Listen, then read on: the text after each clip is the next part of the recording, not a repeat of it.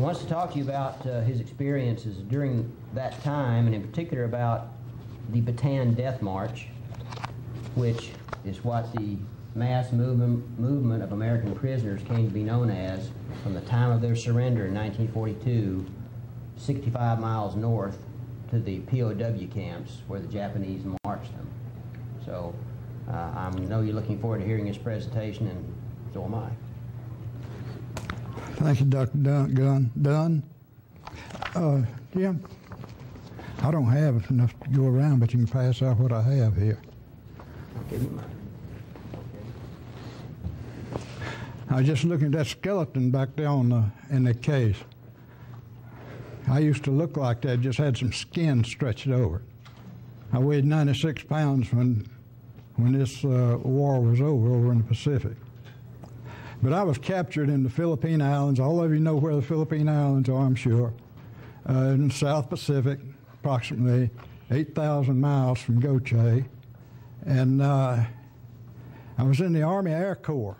I was a flight engineer, and the, we went to the Philippines without any aircraft. There were six squadrons in my group.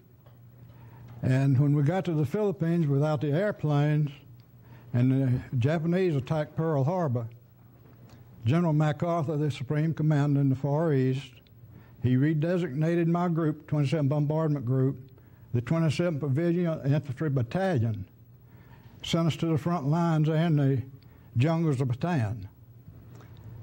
Of course, it's all new. I'm a, I'm a country boy. I was when I was talked into the Army Air Corps. Uh, I'll never forget a little second lieutenant by the name of Evans. He talked me into the Air Corps. I was flying, I was taking flying lessons at Brookley, what is, uh, used to be the uh, airport there, civilian airport in Mobile. But anyway, we arrived in the Philippines without any aircraft. We went to Manila. Of course, that's where we uh, dis disembarked from the ship. Took us out to a Philippine Army uh, camp. And uh, we were there for two weeks in tents on the parade ground when the Japanese attacked Pearl Harbor. And we said, well, from what we had heard of Japanese, well, they're bow-legged, crooked, couldn't see. And we said, well, it'll take just about six weeks and we'll clean them up. Well, you know how long it lasted. And they could see good. They were good fighters. Uh, depending on what main island in Japan they came from, depending on the size of them. Hokkaido, the northern uh, island of Japan, they've got big men up there. They got beards, and uh, they're strong. Well, those uh, those people kind of were superior over all the other Japanese from the other islands, and uh, it always amused me that when one of these Japanese was t- trying to tell another one something, they jabber back and forth, and I'm standing off the side, and I know what's this guy trying to communicate to the other one. So I'd, I'd ask him, come on side, you know, and I'd step in there and tell this one what this one's trying to tell him. Well, they'd thank me. But they had a problem with communication. The uh, Thanksgiving Day is when we arrived in the Philippines, 1941. Went out to this camp, the Japanese attacked, and I was in the tent, and uh, about nine o'clock at night, and the siren sounded, warning us that there was an air attack. So we took off. We'd been told where to go for safety. It's a ravine right off this uh, parade ground. So we went to this parade ground. We were smoking cigarettes and going along. You know, we go over there, climb down in this ravine, sit there about 20 minutes, and the all clear sounded. We went back to our tents. And they had told us not to pull our clothes off because uh, of air attacks. Well, it was, you know how hot it is in the Philippines, the tropics. And so we got back to our tent. There was eight men in the tent. we pulled off our clothes right down to our shorts, went to bed. Well, when I woke up, it seemed like that bed was turning end to end, you know, and there's machine guns rattling. I looked out the flap of the tent, and there's traces going in all directions. I heard airplanes diving, pulling out. I heard bombs exploding. And I looked around, I was the only one in the tent. So I grabbed my shoes, boots on, and took off. Well, I realized I had them on the wrong feet to start with, but I couldn't take time enough to stop and switch, so I had a hard job getting to that ravine. Well, I didn't make it to the ravine because I heard an airplane diving, and his machine guns was rattling. And there was a small ditch just before you get to the road that runs around the parade ground, row of trees all the way around, and had a small ditch about a foot and a half, two feet wide, about eight, ten inches deep. So, boy, I dove in that, that ditch there. But that airplane wasn't shooting at me. They wasn't shooting at any of us there. Uh, they were after a radio station off the base. And, of course, Nichols Field, which was right be across from uh, Fort McKinley. Uh, when the all clear sounded, we began going, going back to our quarters, and it was, it was a lot of confusion. We had a, a mess sergeant, we heard somebody hollering for help. And we used to have old heavy tugs, they called them, uh, machines that would pull airplanes around with it, real heavy. And this guy was under there. He done got jammed under this tug, and he couldn't get out. So we had to pick that tug up off of him to get him out. He, incidentally, he was our mess sergeant. And uh, we had a couple of people that were wounded, and uh, they were wounded because you cross this road off the parade ground, there's a row of cottages, and, and between these cottages were clotheslines. And these guys hit those clotheslines and they'd flip them. And there was, more wounded there than the Japs wounded that night. Well, we were moved on Christmas Eve from Fort McKinley to Bataan which is a southern province of uh, Luzon Island. Now, Bataan is a peninsula which is sticks down into the China, South China Sea and then comes into Manila Bay and makes a big swirl in about 30 miles across. And Manila sits over on the far side. So we went to Bataan down in that peninsula. And uh, they issued us a 30 caliber rifle, bolt action, issued us 90 rounds of ammunition, and a box of hardtack, and a can of corned beef. And they proceeded to put us in a bivouac about five miles south of the main line. Well, this is where we had infantry training. Now, mind, we were all Air Corps people radio operators, engineers, mechanics, uh, whatever. So they sent an infantry sergeant over out of the 31st Infantry, and he gave us a half hour of rifle and bayonet drill. He showed us how to hold a rifle. He showed us how to use it in hand-to-hand combat, and uh, then he had us fire a target. And he, the bullets were in little clips. There was five bullets to a clip. And uh, this is 1918, 1916 ammunition. You may fire the first round, but then the next round wouldn't fire. So you have to eject it, put another shot, in, another shell in, try to fire it. If it fired, fine. If not, you had to pull, uh, pull it out and put another one in. Usually it's around two to three duds in each one of those clips. So that, that uh, wasn't too secure especially when you got into battle. Of course, I never did have to use my rifle in battle. I had a machine gun, 30 caliber machine gun, water cooled, and uh, you might find uh, had a round cylinder on top of the machine gun, and uh, the, the bullets was put in there like this, and as you fired it, it'd, it'd kick around to the next one. It'd go boom, boom, but then third time it'd jam. So you'd have to try to unjam it. Well, you've got Japanese coming across. Well, it just so happened we had machine guns set up all across the front lines. And as these Japanese was coming across the rice paddy, hitting our barbed wire entanglement, which we had about 75 feet out in front of our line. These guys down here were doing the shooting here. We were shooting in this direction. That's what they call crossfire. And we had it all raked across there. And uh, we were up there for 99 days on the front. We ran out of food, we ran out of medicine. We had people sick with uh, malaria, dysentery. Some of them had started showing signs of beriberi, wet beriberi. The wet beriberi hit first, but then the dry beriberi was very close behind it. And uh, beriberi is, uh, is it's not a disease. Uh, your kidneys quit functioning, and then all the fluid goes into your body, and you start swelling. Usually, it starts in your feet and your ankles and your knees, and comes right on up, and eventually it will get into your head, and your head will swell about like this. Your eyes will be that far back in there. And I was in the hospital in Camp 17 in Japan.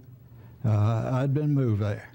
And uh, I was put in a bunk in what they call a hospital uh, ward. And across the aisle was a Dutchman. He was captured down in Java. And he was big fellow. Oh, he was huge, and his head was big as a pumpkin. And his fingers were extended. He couldn't close his fingers. His arms were straight. And uh, that night, their chaplain, the chaplain came in and gave him a little block of chocolate. And he, in the military, we have what's called Type D chocolate bars. It had six little squares to a bar. And the crew down there, if you was on a crew in the mine and load 16 cars of coal, they would favor the, you with one of these chocolate bars. There were six men on a crew. Each man got a little square. Well, Chapman gave this Dutchman the, that, that chocolate, and he, he stayed there until the Dutchman got it all dissolved and swallowed. Well, sometime after that, I heard water. During the night, I heard water flowing, just like turning the faucet on. And, uh, of course, I didn't get up. I wasn't able to. But then in the morning, that Dutchman had lost all of his water. And he looked about like the skeleton back there.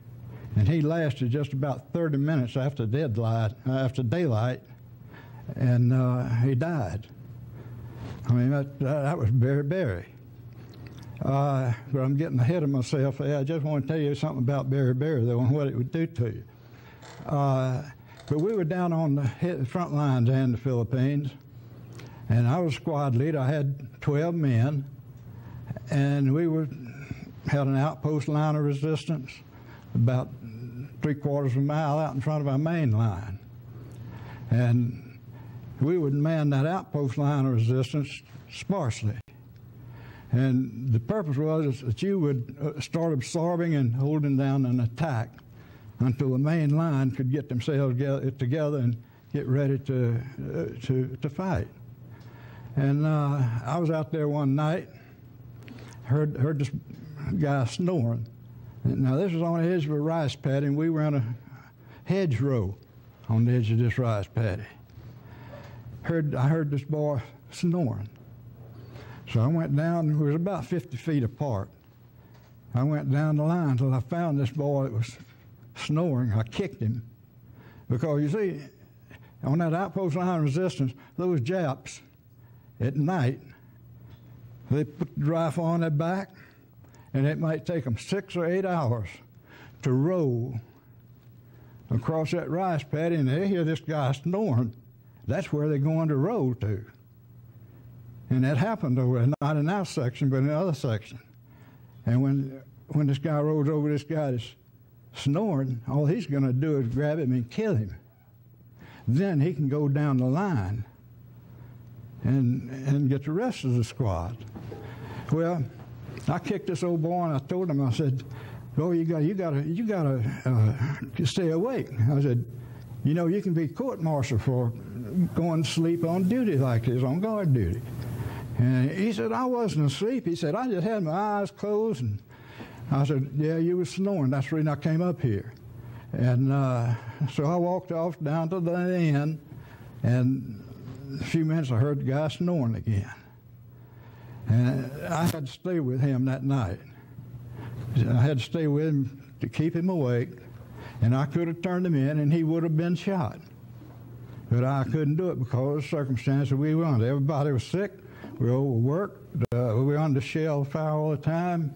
The men were worn out. We didn't have any food. They were hungry. And uh, under the circumstances, I couldn't turn the boy in. Well, that's one of the things that happened while I was up there. Another thing is uh, these beriberi, dry beriberi, and scurvy. Uh, these things started showing up on the men, up on the front. And uh, that contributed a lot to uh, so many men dying later on because they were already physically drained. They didn't have anything to back up. Usually, you know, you can go a day or two without something to eat, but you didn't. You won't lose your strength and so forth. But I mean, when you go week in, week out, uh, month in month out, without uh, sufficient food, you use everything that your body has stored over the years. You use all that up, and and you're you're going to die. You're going to catch one of these diseases just as easy, and that will kill you because we didn't have medicine. Well, the Japanese broke through the Philippine army on our left flank. And uh, one night, well, the next morning, we could see them. We knew the fighting was going on down there because we could hear it. But after it got daylight, we could see the Japanese broadening this breach they had made in the Philippine army. Well, it was really too far for us to shoot. So our commander came running, running in from the outpost between the main line and the OPLR, the outpost line. He, he had moved out there because he was scared to stay back behind us because they were bombing and strafing behind, but they wasn't doing anything out in that no man's land. And uh, he come running by and he said, uh, Sergeant, he said, get these men ready to, to move out as soon as I ring the gong. Because we could see Japs landing uh, on the beach to our right, mile or two away from us. And they had been landing there during the night, and you begin hearing firing going on behind you. You got these breach over here, and the Japanese are coming around behind. And uh, so our platoon sergeant, he, he, he, said, after about an hour, he said, and these guys, these Japs, begin spreading. He sent a runner back to the uh, CP and find out what's going on. There's nobody out there. Everybody's gone. The, the what you normally would call orderly room. It, it was bare. Everything was gone. Everybody was gone. No officers, no first sergeants, uh, anybody. So when he came back and reported, the platoon sergeant told us, said, man, he said, go ahead and destroy your machine guns and he said, uh, You're on your own. He said, Try to get to Corregidor. Corregidor was a fortified island sitting in the mouth of Manila Bay. Well, that was a heck of a position to be in. We hadn't been there long enough to know anything about the Philippine Islands or the natives. And uh, so that left us in, in, bad, gave us a bad feeling. Hey, we, we, we're abandoned. What do we do? The Japs are going to take care of you in just a few minutes if you don't settle down and start thinking. And well, anyway, there's five of us got together in the group in my squadron, and we started working our way through the jungle. Well, we, we ran into uh, uh, an artillery outfit, and the way we ran into it, we, we broke in into a clearing in the jungle, and there's grass about waist high. And just as we broke through out of the jungle, uh, the edge of the jungle there, this, we heard battery fire, and there's a 75 battery 75 millimeter gun sitting back there, and they had fired. And normally, when the battery fire, you can see the smoke come out of them, you know. Well, that smoke came right straight ahead. They were firing right straight ahead. Well, we say we can't, we can't, uh, we can't handle this. So as soon as they fired, we jumped up and headed across that clearing, and it was a, uh, jungle tree, limbs down on the ground, and uh, it was getting late in the afternoon, and we saw some dirt, fresh dirt on, on, on those limbs, and there bound to be a hole under there. So we figured we'd get in there for the night. Well, we bailed in there, and, and hey, there was already some people in there, but we couldn't see them. It's so dark. And uh, after a while, Jesse Knowles, Jesse Knowles was from Louisiana. Uh, he was a senator over there for years, and uh, uh he, he, he, he, was, he was a sergeant in our squadron. And he said, well, I said, we're in here for the night. He said, we need to kind of make some plans, find out who's in here and what we can do. And he said, I'm Jesse Knowles from Louisiana. And he said, This is Jim Gautier from Mississippi. And before he introduced anybody else, somebody spoke up, one of these dark figures back there. He said, uh, James Gautier, he said, Do you know anybody by the name of Uncle Walter? I said, Yeah, that's my grandpa. He said, Well, you and I used to hunt down there and fish down there on the banks of that river in Gautier. He said, I used to come down there with Aunt Lillian. Well, Aunt Lillian's my Aunt Lillian, too. And uh, so, yeah, I remember him. His name was Roy Clark. And uh, so we talked a while there, you know, and we finally went to sleep. And the next morning, uh, about daylight, we started crawling out of there, and this 75 battery, battery 75s, there was a major in charge of it, and we said, well, we go through there, maybe they got something to eat. And we got there, the major said, you men go down here about 300 yards. He said, I already got some men down there. He said, you hold the Japs away from here until we get our artillery out. Well, we went down there.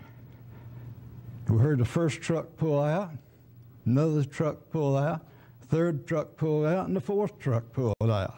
Well, they left us again. Well, we were, and uh, by this time, was Japanese all through the jungle. And uh, so we, we started for the uh, south again. And the, uh, uh, I don't know, I lost two of them somewhere along the line there, scattered in the jungle there, trying to work your way through. And uh, then I ended up, I was just by myself. And I came to a, a large uh, grouping of bamboo.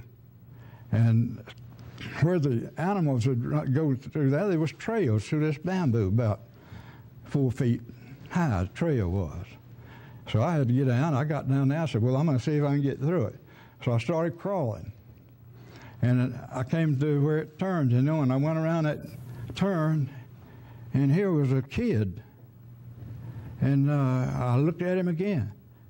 He had a gray beard, but he wasn't about three feet high. Not over three and a half at the most. Gray beard, he had on a little child's about a five or six year old child's coat, dress coat. And he had his G string on. And he had his blowgun with him. He was a Negrita, one of the natives over there. And it scared the fool out of him, to tell you the truth. And so I, I asked him, I said, in Japanese. And he couldn't speak much English, but uh, he, he, he knew Japanese. And he, he motioned me to follow him. And uh, so I followed him around until he got to the other side of that bamboo. And I thanked him in English. He probably didn't know what I said, but he probably understood. And I went on through the jungle from there. But uh, I run into Enza then. I, after I got through that bamboo, here was Enza. He was one of the fellows that was with me originally.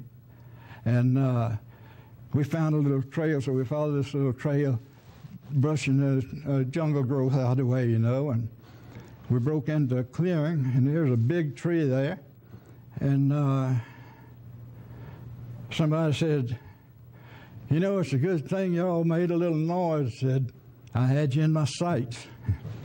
Looking around, here was a tank. This tank was camouflaged right there by that tree, and there's a guy sitting up there with a 30 caliber machine gun. When he heard us coming through the jungle, he, he had his he had his sight on us. But then there was two of those uh, tanks there, one here and one oh, about 50 feet the other side, and they were pointing down a, a jungle trail. And he, he, this guy said, said, y'all better move on out of here. Said, there's going to be a lot of action going on here. There's some Jap tanks coming. And he said, we're waiting for them. And they were aimed down this trail, you know, and you could hear the tanks. And we took on off up the hill and they found us a big hole up there, shell hole, and we decided we'd sit and watch some of the action. And uh, so we, Enda and I sit there, and this was a, pine, a pineapple patch we were in. And we sit there, and sure enough, here come those tanks.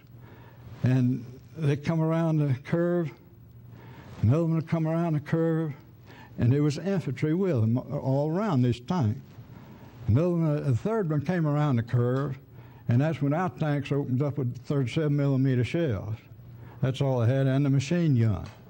And uh, I tell you for sure, it was it was a lot of action. And Enzo and I, and Enzo say, we better get out of here, Cajun. Uh, my nickname was Cajun. And uh, he said, we better get out of here because they ain't to be able to hold off all those, all those tanks. So we took on off to the jungle, heading south.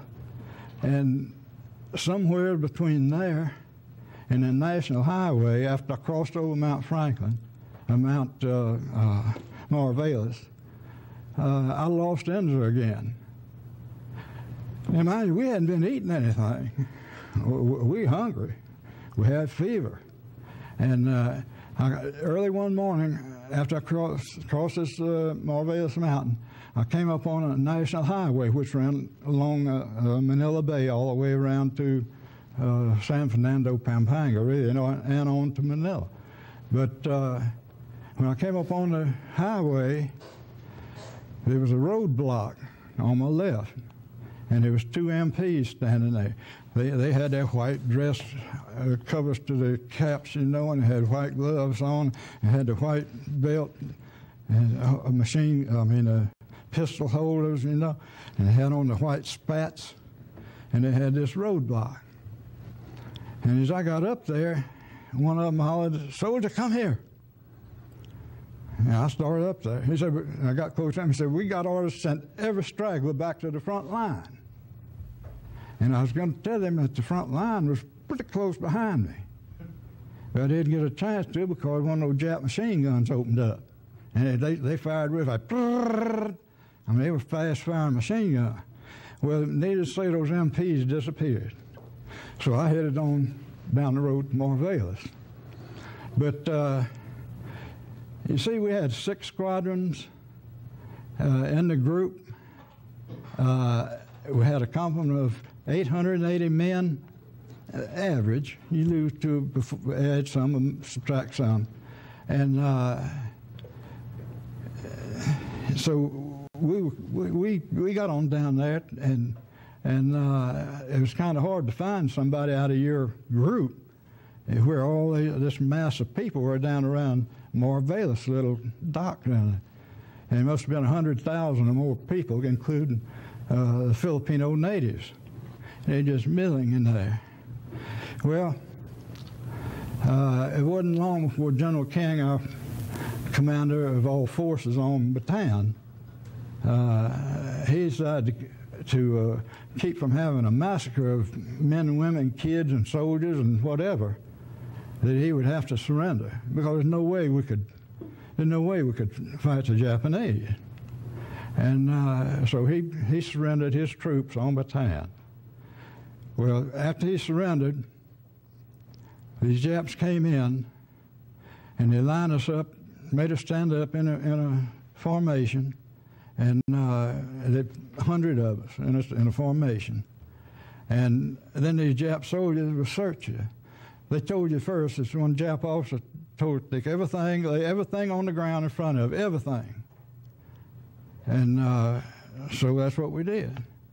Of course, some of the guys, they, they had rings, they had uh, watches and uh, money and so forth. And uh, that had to be laid down. And they did cut the finger off of one fellow not too far from me because he couldn't get his ring off. You know, I mean, just like my ring here, I can't hardly get. In fact, I have to wet it to get it off. That was taking too much time. This guy pulled out a little Japanese sword about this long. Yeah, he cut it, and he got he got that he got the ring. Well, if they found any money, if you had any Japanese money, you were dead. They killed you right there. No, no trial, anything. And uh, another thing I'd like to talk about, is tell about this particular time when they were inspecting us, looking at our uh, belongings. They took all your watches, they took your rings, they took any money you had. They took everything loose that they, they you had they, they might want. And some of them had watches uh, all the way up the arm you know, where they take them off.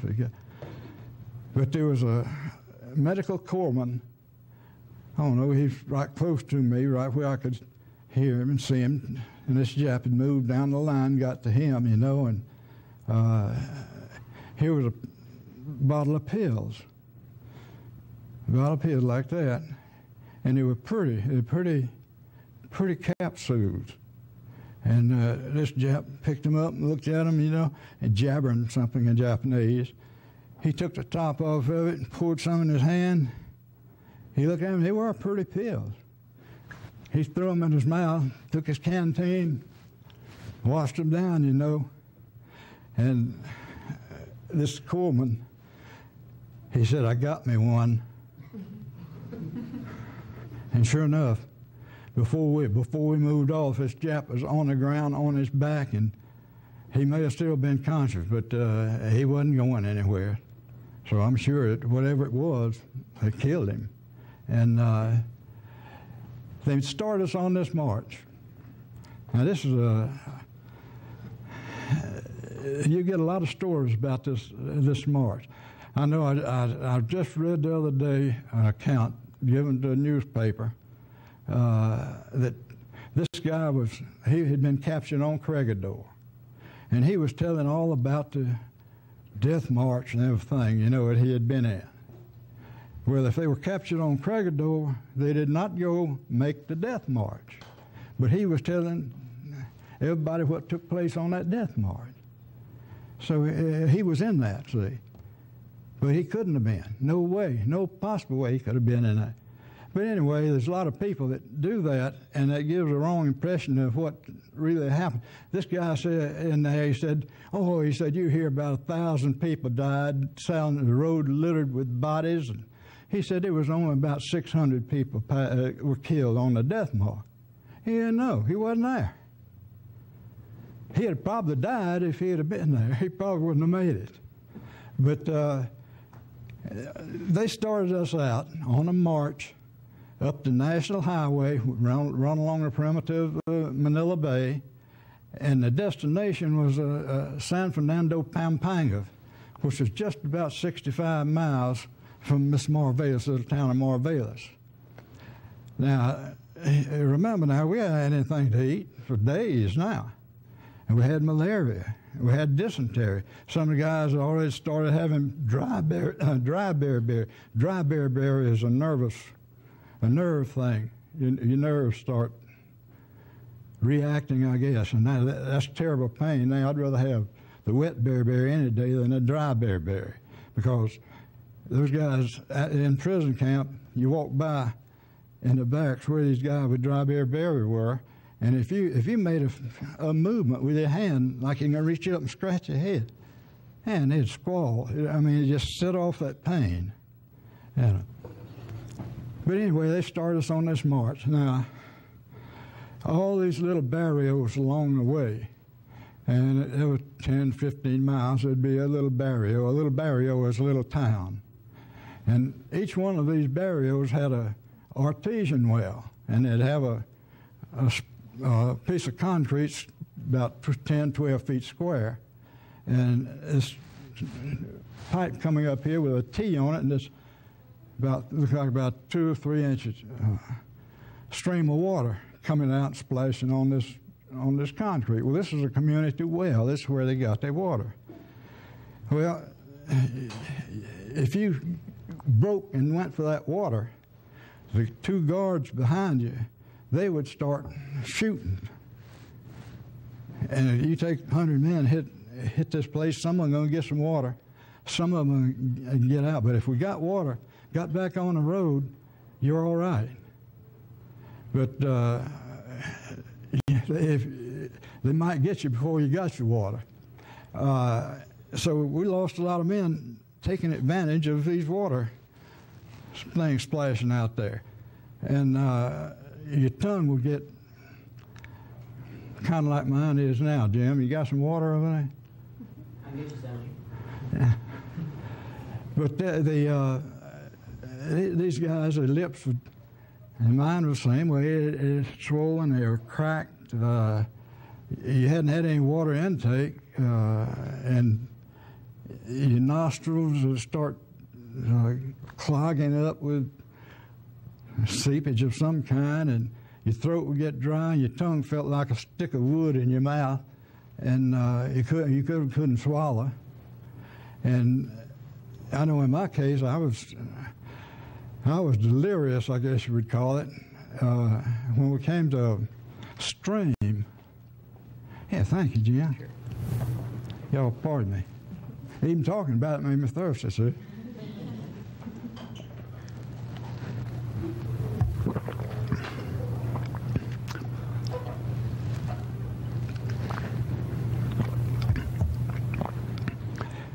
But I think it was the second day. I don't know, it was sometime in the morning or the, I believe it was the second day. It could have been the third day. We came to uh, a bridge that had been blown, and it was covering a, a, little stream that came out of the mountains, and it was just flowing right on out into the Gulf, into the bay, and uh, these Japanese told us we could could have water. You know, of course they they they, they just motioned. We didn't know what they said when they say "eko Mizu." We didn't know what they said, but uh, that meant they'd go get water. And uh, so we break for that water. It's pretty. Yeah, it's rippling is coming down. Get your head under the water and just soak it up. Drink and drink and drink and drink and your eyes begin clearing when you raise up. You know, your eyes start clearing, and you start looking looking around, and here's these bloated bodies that was also floating down out of, out of the uh, the mountains there and on out into the bay. But anyway, I just went down and got as much more as I could have because I didn't could handle them because I didn't know when I'd get any more. But on the either third night or the fourth night, they run us into a little compound, barbed wire fence they'd set up, and they run us in there, and they, they'd pack you in there and pack you in there and pack you in there until just like sardines, and you you sit down, you, you're sitting on somebody's legs, or they were sitting on your legs, leaning up against your back, and, uh, the uh, before you went in, before we went in the, into this place, as we marched in before we got to this place, this uh, compound, they made us get single file, put us in single file, and we was walking single file. And the reason for that is because you go get to the entrance of the, this place, just before you got there, there was Japs on each side, and they had clubs, and. Uh, they were they were all working out. I mean, they, you went through there. They didn't stop you anything. They just all over hit hit you with a club, you know. And if you went down, there was a whole stack of them pulled off to the side. There's some other Japs, and they, they'd pull the guys off, and just like stacking cardwood over here. And uh, I was, I, I, saw what was going on, and I, I, I started figuring because there's, there's one fella getting through this, these with the club. There's one fella getting through there without being hit. And uh, and I thought to myself, oh boy, I said, I'm not going to get it. I'm going to get through. But this guy that was in front of me, Sergeant Knox, and I told him later I ought to kill him. Uh, he saw that too, see. So he steps out and gets behind me. Well, I had a old uh, Philippine coconut hat, kind of like a Frank Buck hat, made of that coconut stuff. And I, I'd picked it up on the side of the road somewhere. And when I got there, I knew the blow was coming. And I squinched down this way, and, and he hit me on the back of it. It got the back of the hat and, and caught my shoulders.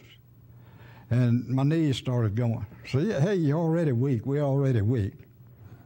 My knees started going. I said, Lord, let me, just let me, let me get through here.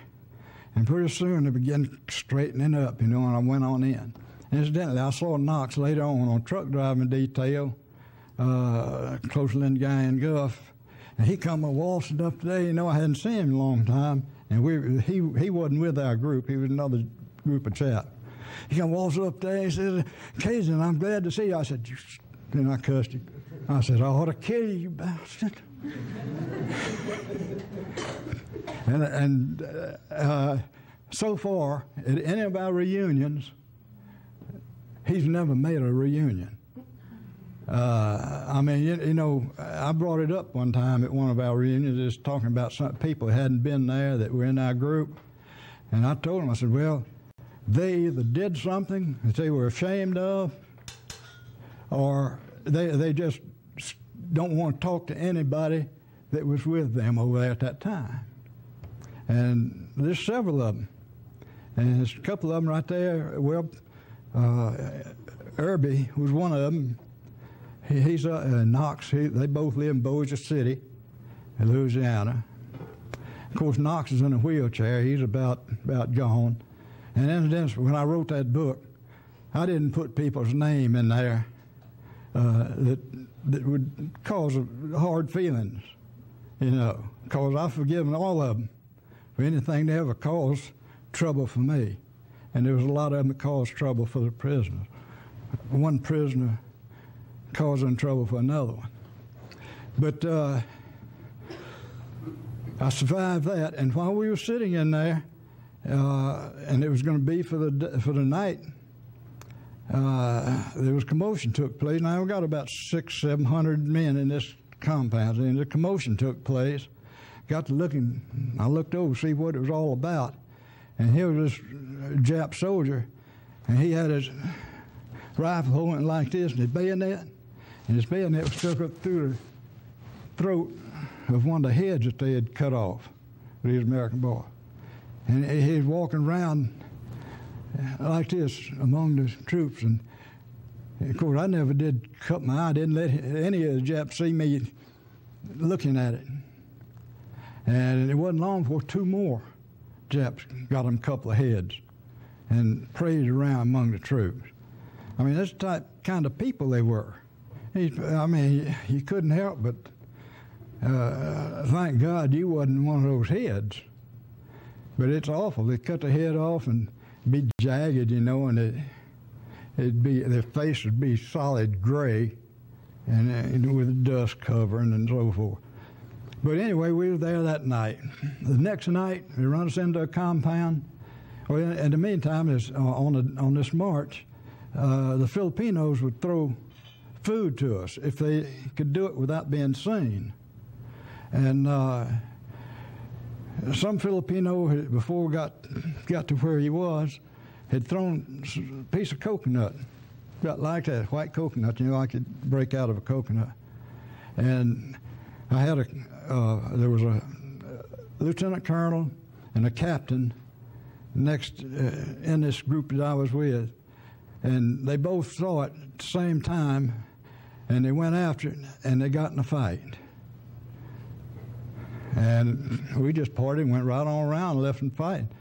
Uh, because I, hey, Japs wouldn't put up, they'd kill him. Either, and they may have. They may have killed him. I don't know. Don't know what happened to him.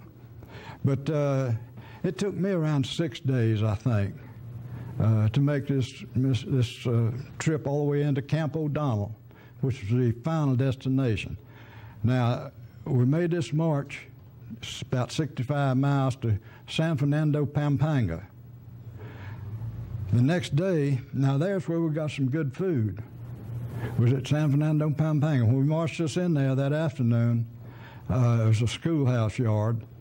Uh, they had a table set up, and uh, they had like little wash pots that you see back out in the country where they put the clothes in there with a stick and they jam them, you know.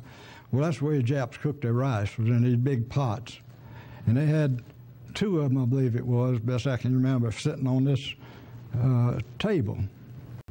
And here, like I say, I'm, I'm bleary eyed. I'm burning up with fever and I'm sick. And so I'm just, and when I saw them giving rice out, I, I tried to find something to get rice in. I found a board there and I picked it up. It was an odd, oblong looking board. I brushed it good. And when I got up there, I was still looking at that board, you know. And I got up there and somebody said, Cajun. I looked up and it was old Nose, Jesse Nose. And uh, he hit me. I mean, that board, he loaded that thing up with rice. That was the best food I ever had. But then the next morning, it got back to the uh, uh, bad part of the trip. They took us down to, marched us down to a railroad station. And they had narrow gauge railroad cars over there. Uh, they're metal box cars. And uh, we got down there and they were loading us on, on the box cars. And they, they'd already loaded a bunch of them before they got to us. And I could see that, hey, they, the first ones that they loaded, they done closed the doors, the boxcar doors. Well, they started getting close to me, and I was trying to figure out some way that I could, maybe could get close to the door because it had to be some cracks. It got, got to be some cracks around that door. And uh, so, sure enough, I managed to stay out, out the way of getting bayonets. This, this packing in with a bayonet. That's how they, that's how they loaded it. And uh, when I got in and, got just jammed, and here comes the door, slamming the door. I was just about six inches from the edge of that door, and that's fresh air because there's cracks around this metal, fresh, uh, metal door. Now, we were packed so tight in these things that in the morning, say 9 o'clock in the morning, about what time it was, in the lowlands, in those tropics, and they close these metal doors. You're in a metal door there, and, and you start suffocating. You need air. You don't have air. And this lasted about three or four hours on this train before anybody got out. But these guys that suffocated. Now, mind, all, all this time, I'm, I'm telling you, remember, these guys have diarrhea and they have, and uh, they don't give you chance to uh, go to the bathroom or the toilet. I mean, right there. So you got you all smeared up and filthy. And, but these guys that died, they couldn't fall. It might break, but that's as far as it goes. Packs are tight. And when they opened the doors, that's when these dead ones fell. Well, those of us survived. We got out, and hey, they formed us back in a group of a hundred and started us marching again. We didn't know where we were going, but they was marching us. And after about seven or eight miles, we came to this uh, camp. It was a Filipino army camp. And they hadn't finished the construction of it. It had a lot of the barracks up, but it hadn't been finished. And uh, they marched us to this camp and they stopped us out in front of uh, uh an administrative building of some kind. And uh, we were standing in formation, they wouldn't let you sit down. You had to stand there and stood there and stood there, and these Japs running around. Finally, an interpreter, a Filipino interpreter, came out and told us that the, the general's going to talk to you. Well, a little while, here come the general. Actually, I think he was a, a tie. I think he was a captain. But anyway, he was had a shiny uniform on. He had those boots up, you know, shiny, glassy, shiny on. He had those that saber swinging, swinging on his side. And, uh, he gets out there and he climbs up on this jeep, American jeep, and the Filipino climbed up with him, this interpreter, and he, this Japanese. Uh, said we could hear him say English and American. We didn't know what they were talking about in the other Japanese. But then the Filipino would interpret what he said for us.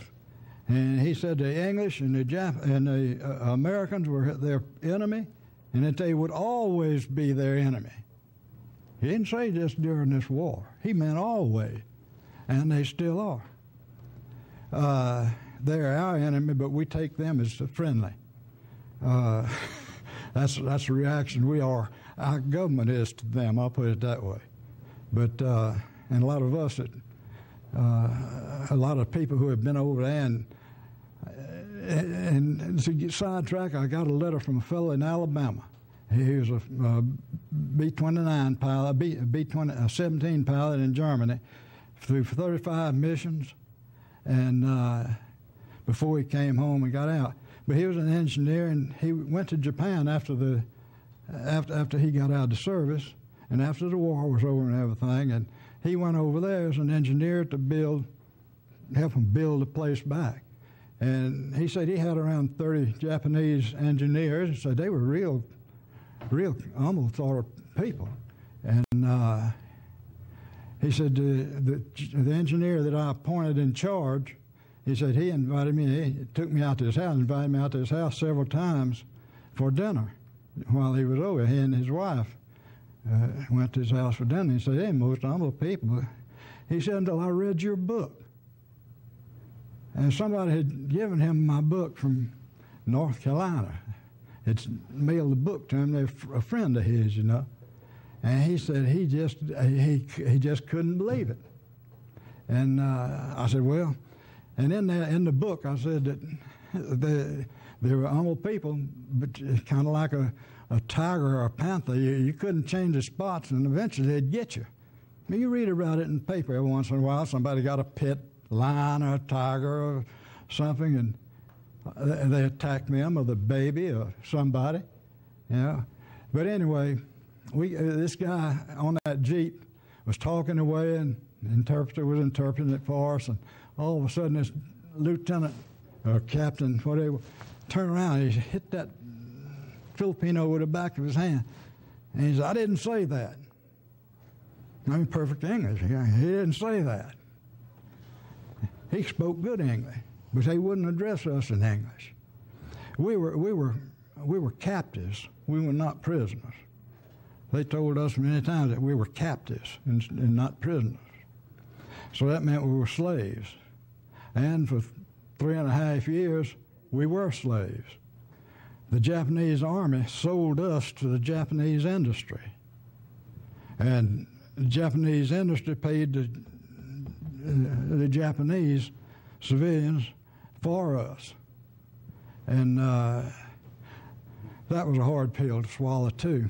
And we were working in the mine. In my case, I was working in the mine those overseers come along. If you was, you might be on your stomach in a lateral with a tire tool, which is about the most we ever had to dig with, scraping out this coal dust that uh, they call coal.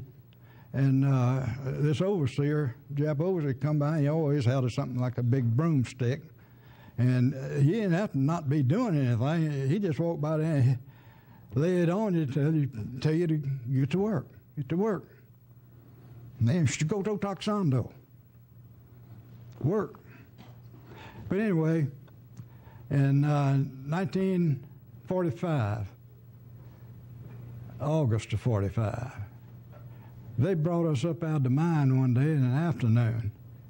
And when they, when they brought us up, we couldn't, we couldn't understand what was going on. Now, previous to this, them bringing us up, the Americans had, had been bombing Japan. They bombed this area that we were in. In fact, some of the bombs hit in our our, our camp, and uh, then all of a sudden, they, no more airplane, no more bombing. And this had gone been about two weeks when they brought us up out of the mine, and they took us to our uh, to our uh, barracks that we was in, and uh, then they came down. They got the buntaicho that was in charge of our, the American that was in charge of our barracks. And they went down and got the buntaicho, the supervisor that was appointed, took him and marched them off. We had felt all along the Japanese would would uh, not let the Americans recapture any, any, any American prisoners. And uh, we felt the Japanese would kill us prior to letting us be captured, and be recaptured. Well, we, we got together right quick when they went because we figured they'd take the top nine people out, might confuse the rest of us.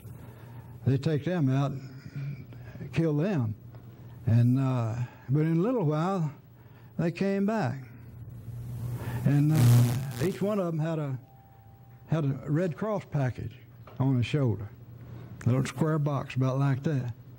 Well, he, he got he, he got ten men, marched marched them off up to the warehouse.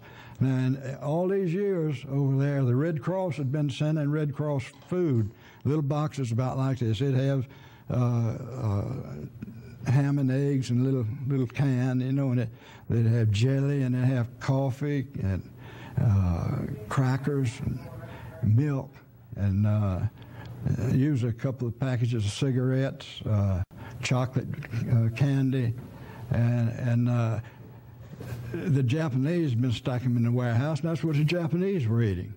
The Japs were eating, eating this food, but they didn't give it to us unless we worked and earned a favor from them, like the little chocolate, uh, square of chocolate. And so it brought us back into camp, and each one of us got us a uh, a Red Cross box, and uh, some people couldn't handle it though. Uh, it's too much for them, too rich. The food was too rich, and immediately they throw up. But uh, the next morning, it wasn't any Japs in camp. Japs were gone, none, no guards anywhere. Now this is a big camp. We had 1,700 people there, uh, Dutch, English, and Americans, and um, uh, the Australians. And uh, there's no, and there was, that's in this, there was a 10 or 12 foot solid board fence all the way around our camp, encompassing the entire camp. And uh, so somewhere the next morning, after sun had been up a good while, somebody said the Japs are coming up the road. Well, they came in, but there was a fellow with them that and he was uh, he was a healthy looking rascal. That rascal, his cheeks were rosy, you know, and and uh, he was oh he was he was looked like a huge person. We used to looking at skeletons now. That's what we're used to looking at. But here, this guy came in there with authority. You know, I mean, he he, he just had uh, had everything for him, and he got up on a stand called for, for an assembly of all troops. And this was a war correspondent. Uh, and he had landed with the first Americans that run into Japan on an aviation engineer group down on Kyushu Island at, uh, Omu, at uh, Kanoya on the southern tip of the island. And uh, he told us during this, his address to us that it took him three days to travel by train from Kanoya up to our camp. And uh, of course, uh, the American officer in charge of our camp uh, told nobody will leave camp. He said it's too dangerous. The Japanese are still under arms, and uh, it, it, wouldn't be uh, prudent to go out and leave yourself open for attacks or death or being killed.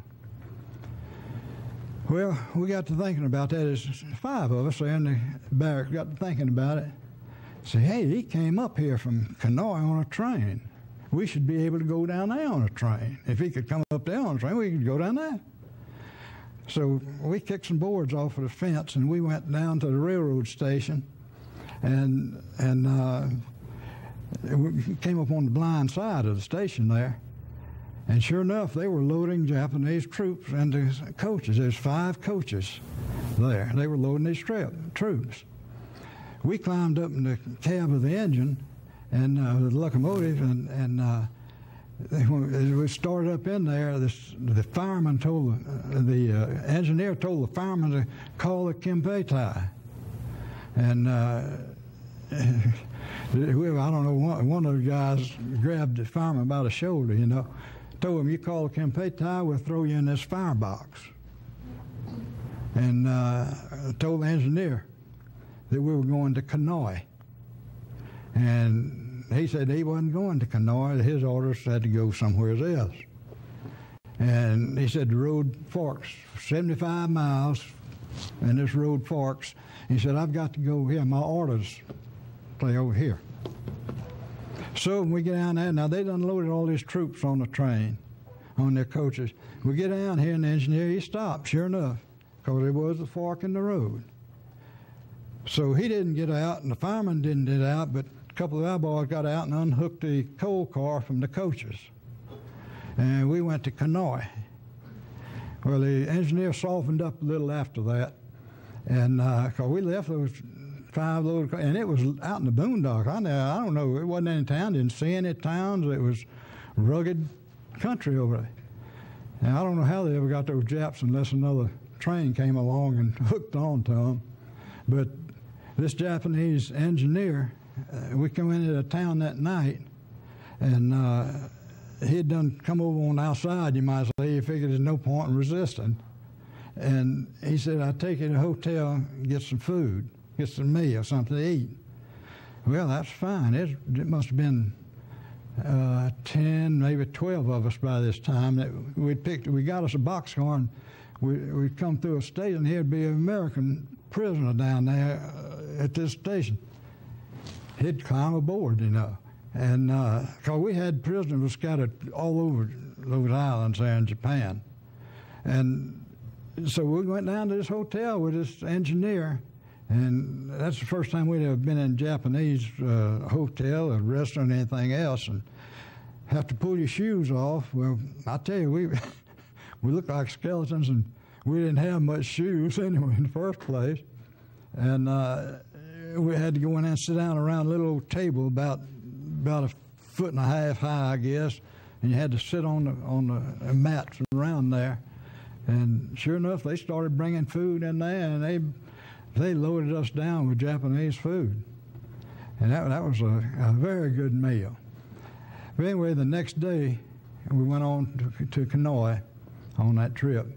And when we pulled in the railroad station there, I don't know if it was the next day or the following day, uh, there was two MPs uh, marching up and down in this railroad station. Nobody else around, but they was there guard duty, and they had Tommy guns. And this engineer pulled pulled us in there and stopped. And some of us went into a box, this boxcar that we had picked up, and uh, of course, when we pulled in with this boxcar, these these guards, and hey, again, they look just like elephants there. I mean, they are, they look huge, and they they got to the went back to this box car and they look and say, where where in little profanity y'all been? And say, well, we've been in prison. We just got out of prison, and. Uh, by this time, the engineer and fireman then got out and was coming towards us. And uh, this one looked at us and knew it got to him. He swung around and said, What do you want to do with these? He was using a little profanity. He was, No, no, they brought us down here. They've been good to us. And uh, incidentally, the engineer and the fireman thanked us in Japanese. Don't worry, much, you know, that kind of trembling, see. But uh, these MPs took us out to their camp, and uh, the first thing that happened was uh, this little doctor stuck a, uh, a thermometer in our mouth. Hey, that wasn't that that that didn't do any good. I mean, I, I told him, I said, we just need something to eat, doctor. And I said, we get well. And uh, anyway, they deloused us. Uh, we were eaten up with lice, and uh, we slept on straw mats, and they were full of lice. Uh, mine clothes that we wore down to the mine, all the seams, they're just lined with with my uh, lice, and that was our pastime, and sit down and get these gnats, pump, squash them out of your seams of your clothes. Cause they, but anyway, they took us in there and stripped us. Then the first thing he did, he had a, a squirt gun and it was some kind of powder in it, and they told us to close our eyes and they they sprayed it all over us, you know. And uh, then they told us to go into the washroom there and take a shower. They gave us soap and towel and everything. We went in there and uh, took a good bath. And oh, I mean, even where we were, where we worked as uh, mine and camp in Japan, the only bath we had was a a big vat, and uh, they kept it hot. I don't know, it just felt like it it burned you if you got in it. But when you got out of it, you were you were real red all over. And uh, in the wintertime, uh, that that heat would last just about 30 minutes, but you were warm for that period of time. But uh, to take a shower, and soap and, and towel, washcloth, and dry off, and they'd given us a new uniform to set out that khaki uniform, and uh, hey, they, we were living. We had started living right then. That's when we started living. And uh, the as soon as we got through with the medical people there in their tent, they told us to go over to this big tent. They pointed a big tent over and said, that's, that's the mess tent. So you go over there and they'll have some food for you. Well, I think every cook in that camp was over there to cook. And it, it didn't make any difference what you wanted. Just tell them. They, they, they, they would do it. I mean, they were cooking, they were cooking hot cakes and syrup, and they was cooking eggs and bacon and steaks and pork chops and, yeah, I mean, just whatever you wanted, tell them, and they, they had it for you. And they had cartons after cartons of cigarettes, uh, cases sitting over here to get get all the cigarettes you want, get all this uh, chocolate. They had cartons of this this uh, military chocolate bars, and uh, so we ate. And I, when we, after we got through with that, they told us to had the, the tent next next to them there. So that's uh, you sleep there tonight. And went over there and had a mattress on it, had sheets on it. It had a nice blanket on it, and it turned down, you know. Here was a pillow with a, a white pillowcase on it, and uh, I had one of those chocolate bars with me. And when I went to sleep, I, I was, uh, had it in my mouth, I guess. And the next morning I woke up, uh, I just finished it. I finished what I had in my mouth the next morning when I woke up. But they uh, they put us on uh, uh, what they call a jungle skipper, twin engine, the old Gooney bird type plane, a K, uh, C-47, and they're going to take us to Manila. But the first stop was Okinawa. So after we took off, I, I, got up in the cockpit. I was the only one that was uh, uh, had ever been an engineer of any kind, and I was talking to the pilots, you know, and the co-pilot, and I asked the pilot, I said, would you fly back over Camp 17? I said, fly back over and let's, let us uh, uh, drop a note to him. Yes, uh, he liked that idea. So the co-pilot had one. He, he was from Texas. He had one of these Texas bandanas. It looked like about that wide. It's black and red, you know, uh, design on it. And the crew chief had had a, uh, a box there with all kind of tools and nuts and bolts and whatever. So made a, he made a parachute. The crew chief did, and I, think there was about 12 of us on board. They already had some prisoners down there that were going to make this fly. But we we took that out, and those of us from Camp 17, we wrote our name down on this piece of paper, and the crew chief wrapped it around a boat and and tied it good and tied it to this handkerchief, you know. And uh, the pilot circled around over there, and the crew chief opened that side door and threw it out over the camp, and we circled, and it just looked like ants running towards that parachute that was coming down. See, and on there we gave our name and said, "See you in the states."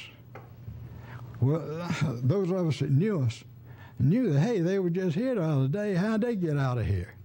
You see? Because I saw some down in Manila that, that was there and, and when they got that parachute.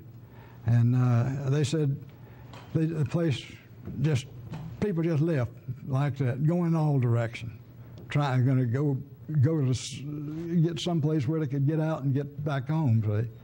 But uh, so they were begging people to stay there to take care of those people who was uh, unable to move because of uh, sickness, you know.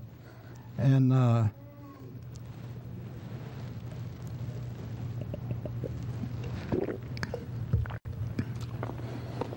but we got got to uh, we got to Okinawa. We had to land there for for uh, fuel, and this, this lieutenant, the pilot, told her, he said, hey, there's a Red Cross uh, trail over there. Said they got cokes and donuts and stuff there. He said, y'all want something to eat? Go over there. So we went over there, and there's a master sergeant in front of me.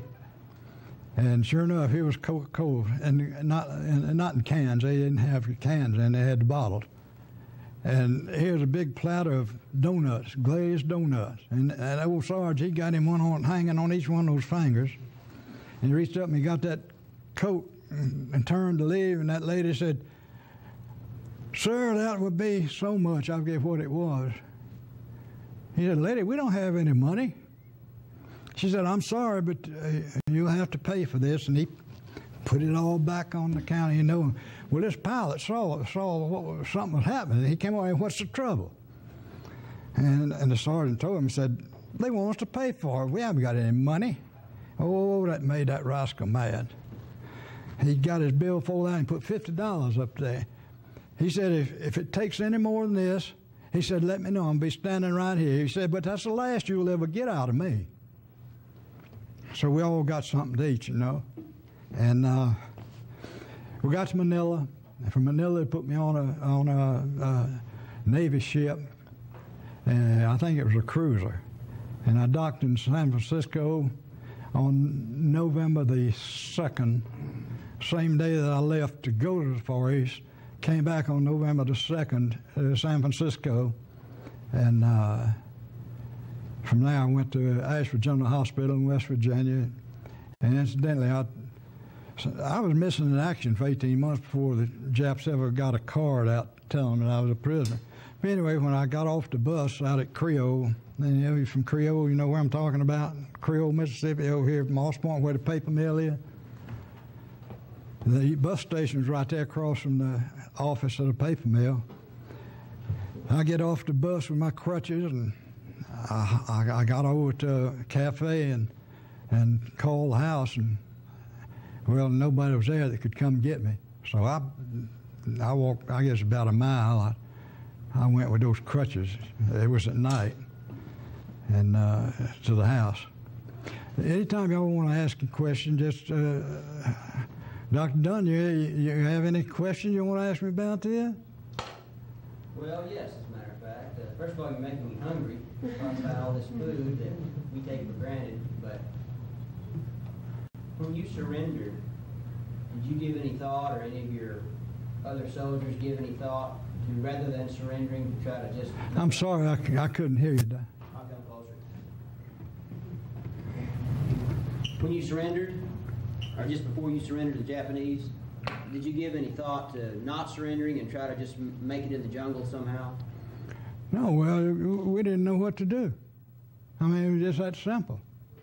Uh, we we didn't know the we'd only arrived there on Thanksgiving Day in November, and uh, the war started for two weeks later, and uh, so we we we were completely ignorant of uh, anything that might take care of us in the mountains, uh, you know.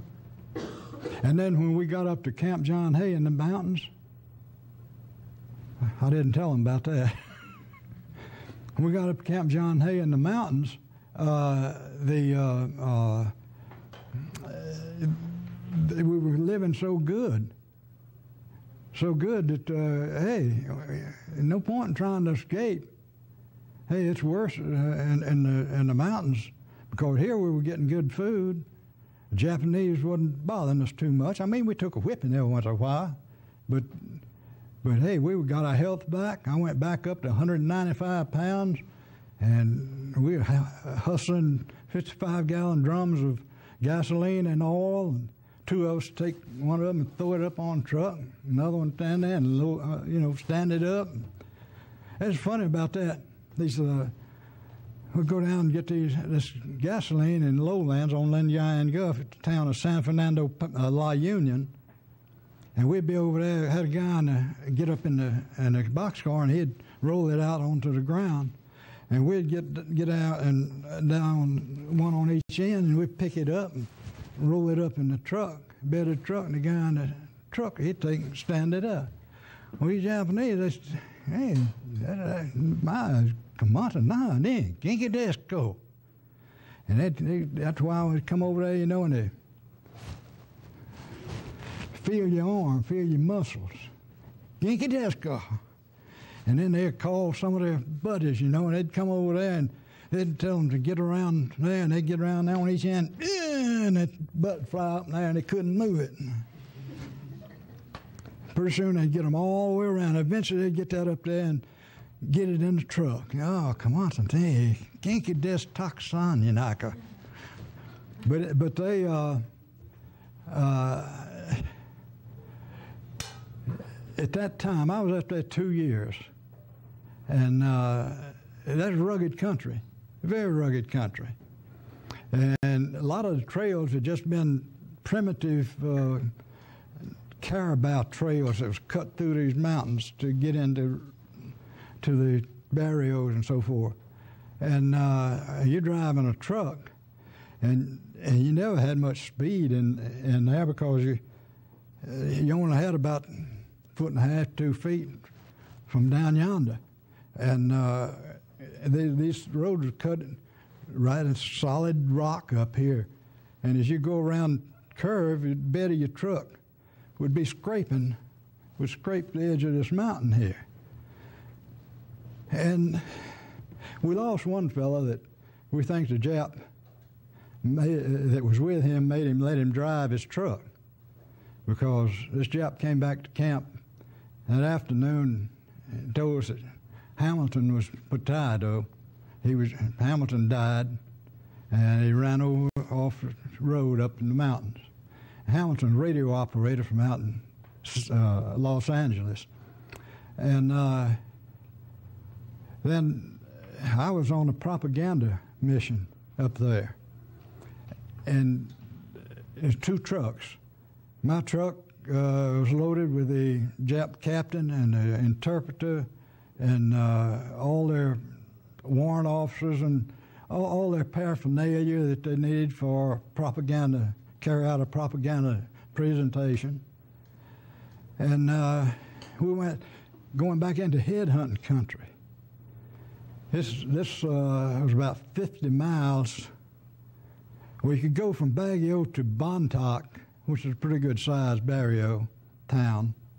But then from Bontoc to this new Lubuagan, that's where that trail bit come in. And they, they had gates that were 10, 15 miles, and if there's anything in the way, any carabao carts or whatever already in this, nobody else could come towards them. But anyway, we went to this Lubuagan and they put on a, their show there that night. Incidentally, going into this town, around this mountain here, and down there, probably three or four hundred feet as I rounded this. And my sheer mountain, you can't hear anything over here that's making noise over here. So when I came around this mountain, here was a Igorot down the road there, three or four hundred feet, something like that. He had a bowl in one hand, his right hand, and he had a head about a hair in this hand. Now, these, this is head hunting country up there in, in, uh, in. They were still hunting heads. In fact, a friend of mine, Josephine, who was a beautiful young girl, about 16, uh, when we were in, over there in San Fernando. And uh, she married a, a, a POW after the war was over. Several years later, this guy went back over there, and they, they, they got married. She's in, she's down here in in uh, Niceville, Florida. She has a tailor shop and a restaurant, and uh, she's pretty well fixed. She comes over and visits every once in a while. And uh, so we, that night, when they made the presentation, one Igorot, uh, gave us a, gave Wilson, I, Wilson, another fellow, Sergeant Wilson, uh, driving another truck that was fill, filled with guards.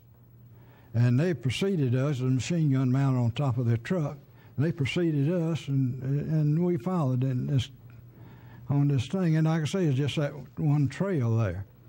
And uh, so on the way back, well, that night, uh, one of these Filipinos gave Wilson a, a, a, a what a McGill brewery bottle, gin bottle uh, full of Basi, uh, Filipino drink. Well, we, he and I decided we drank it. Got to feeling pretty high that night. And these, this town, they had their houses were huts, kind of like looked like an igloo, and they just had a grass hut, and with a little entrance you, they'd crawl in, you know, and sleep right there on the straw or grass, uh, uh, grass or whatever. And around each one of them, throughout the, uh, this, this, little barrio, they had a, about a six-inch ditch dug around each one of them, and that's to keep water out of the out of their uh, little hut. And uh, I stepped in one of those that night and sprained my left foot, left ankle. And uh, the next morning, I couldn't hardly get my shoe on; it's swollen so bad. But we left there after after loading up, and we'd been out about no maybe five miles, and I had a flat tire on the inside, uh, I mean, on outside of my right rear tire. So, my goodness alive, got to put a spare on. Well, we don't have a spare. Well, we got to take it off anyway. We don't have any tools. So I get a beating that right there that, that morning.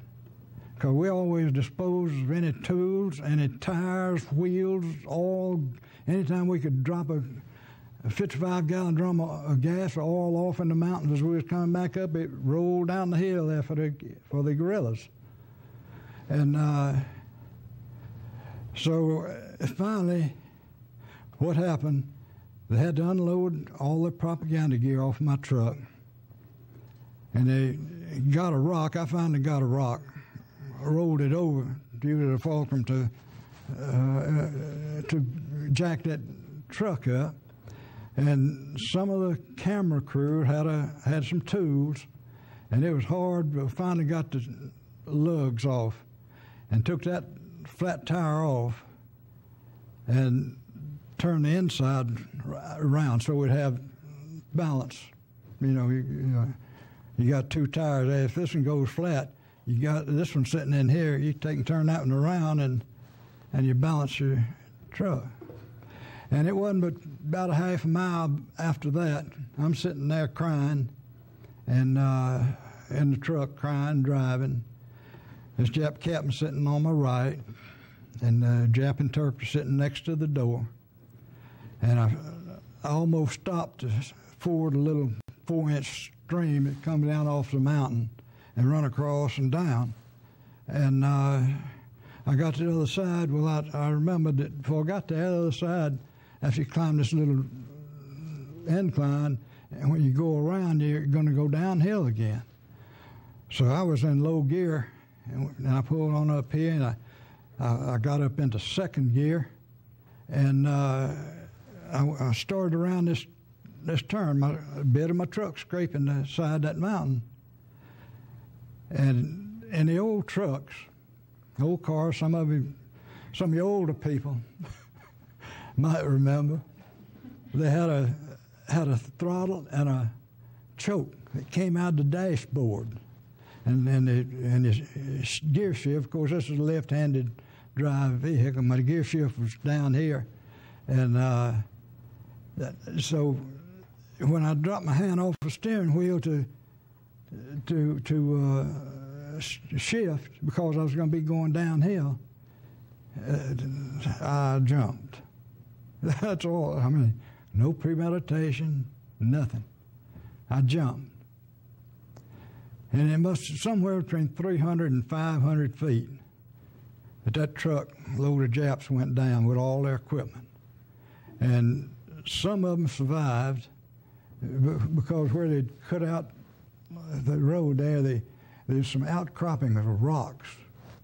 And that truck hit one time, and then it cleared the edge of the uh, rocks there, mountain, and went all the way to riverbed.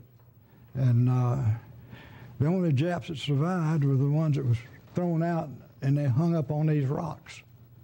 Now they couldn't they couldn't get them back up.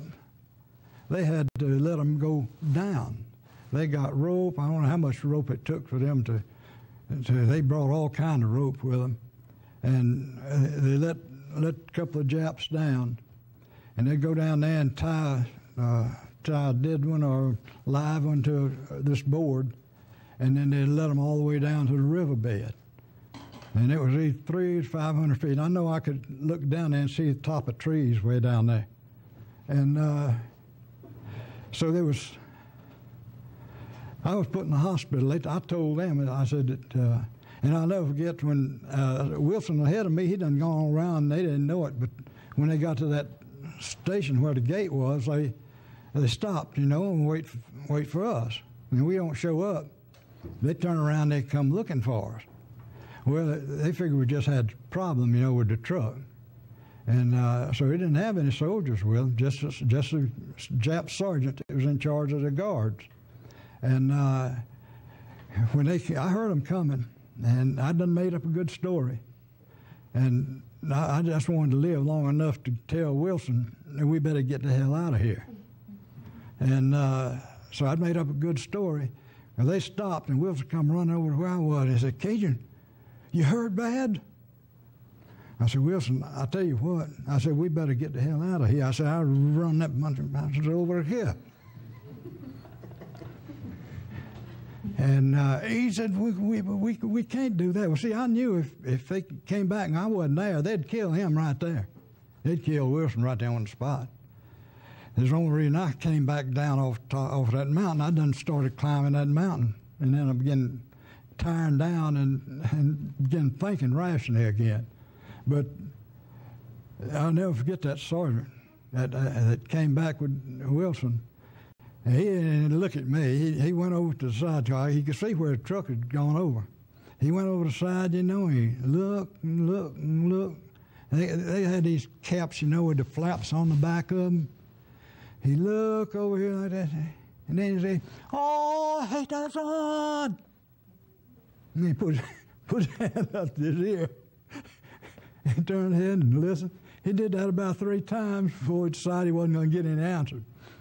But uh, we, we went on back to, uh, to the town of uh, uh, Bontoc, where the hospital was, and they brought these, they were bringing these Japs in for the next two days into the hospital. Well, the interpreter was one of them that was thrown out and hung on the on the uh, rocks, and he was a third bed in that hospital from me, and they had two MPs, intelligence people, standing by him, sitting by that bed 24 hours a day. Well, the third day, he came to, and the first thing they asked him is if the American liberty had run them over a cliff.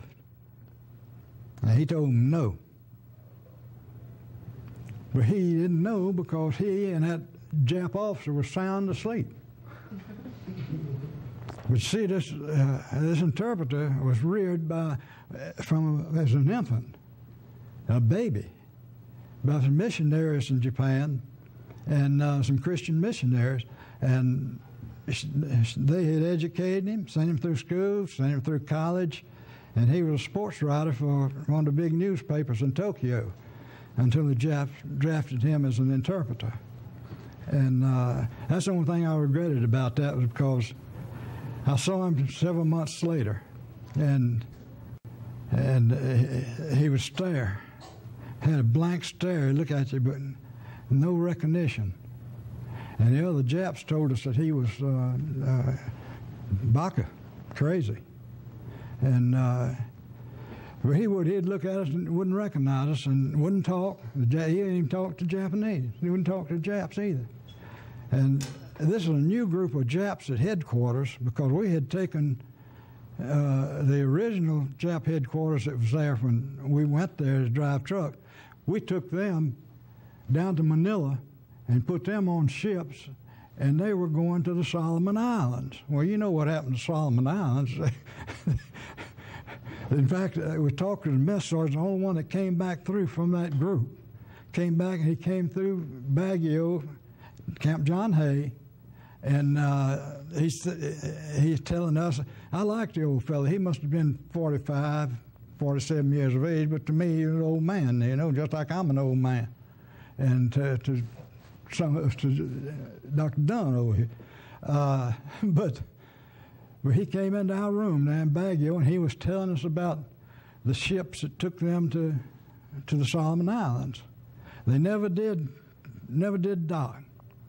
They were attacked by American uh, uh, PT boats, and of course the bombers sank the, sank the ships too. And he said all soldiers died, you know, in, in the in the water. And uh, he said a few survived. He was a survivor, and uh, he told us all about that trip to Solomon and how they they were all killed. But uh, the uh, uh, it's let's see. Where was I? Where was I when I got off on that? You'd asked me something. Uh, you, you answered my question. Huh? You answered my question. Oh, okay. Well, anyway, after after this accident, and I, I got back to uh, to Baguio. Uh, the first thing this transportation officer uh, came in and talked to me and said, "Well, I don't suppose you want to. I suppose you'll be afraid to drive trucks now in the mountains." I said, "What are you talking about?"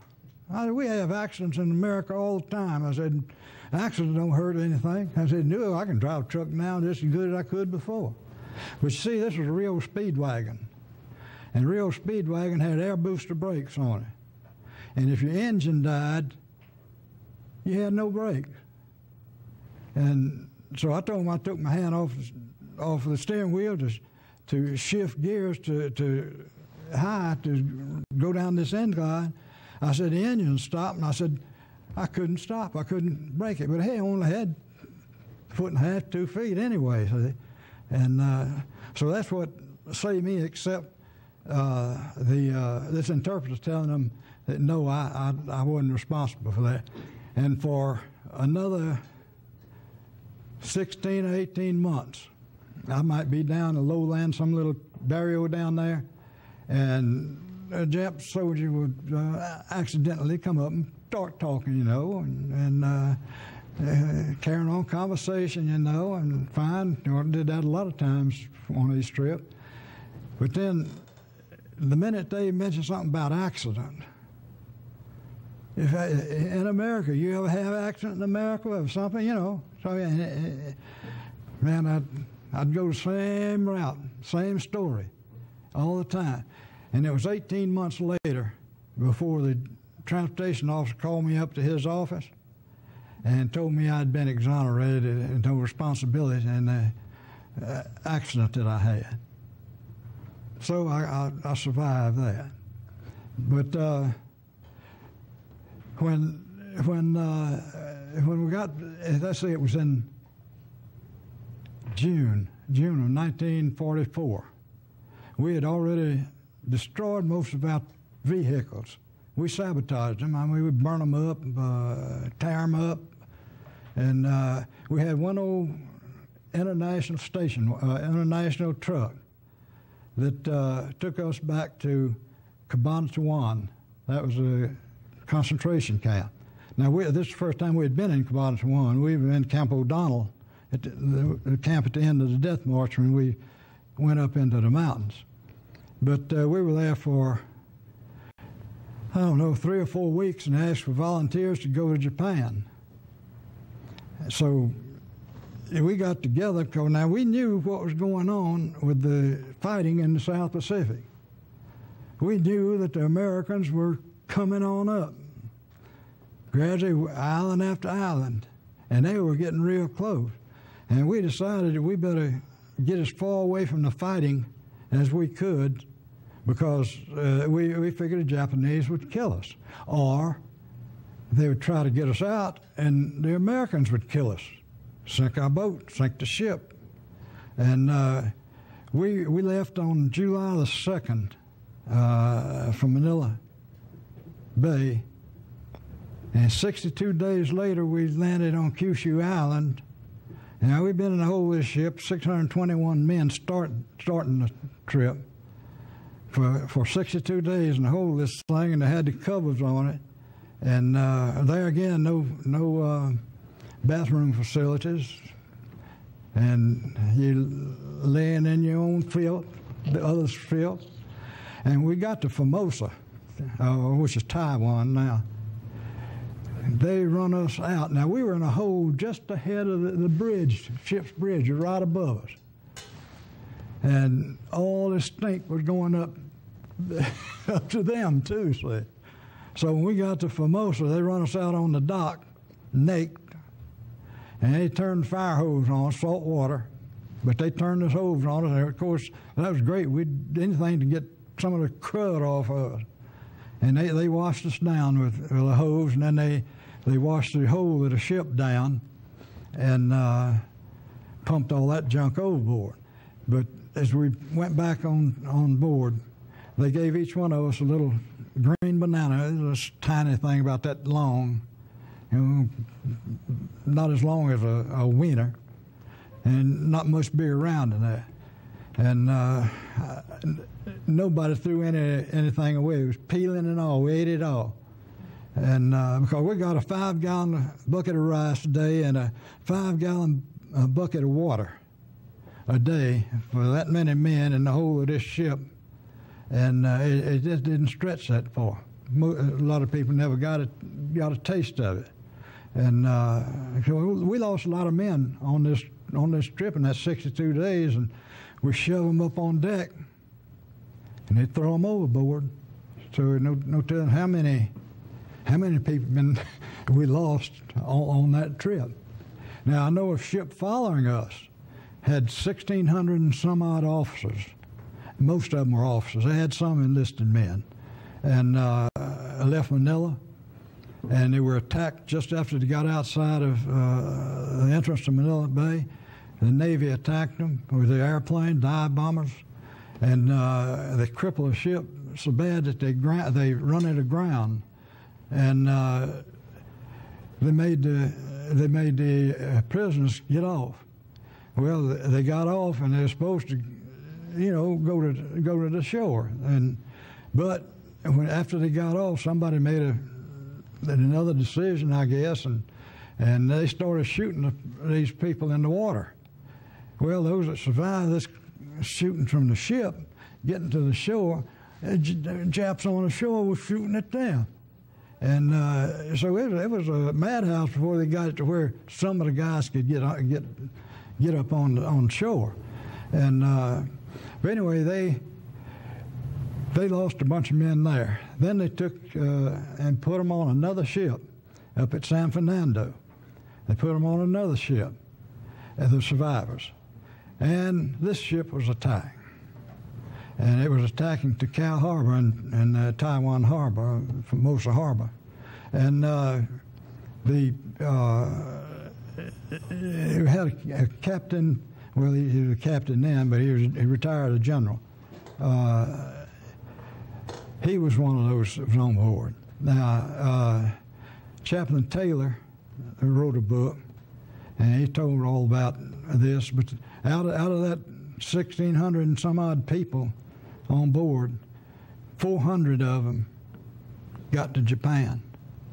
So the rest of them lost due to bombings and so forth aboard the ships.